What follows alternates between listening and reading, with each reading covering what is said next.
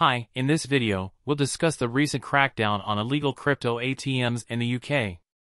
The Financial Conduct Authority, FCA, and four other law enforcement agencies inspected 18 crypto ATM sites, resulting in the disruption of 26 machines across the country.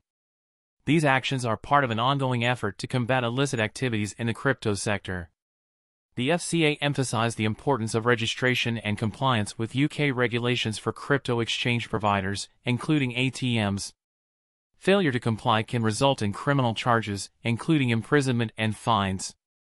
The FCA also warned the public about the risks associated with using illegal crypto ATMs, urging caution and emphasizing the lack of protection and recourse for users. Stay tuned to learn more about the FCA's actions against illegal crypto ATMs. Thanks for watching, subscribe to my channel for more updates. Bye.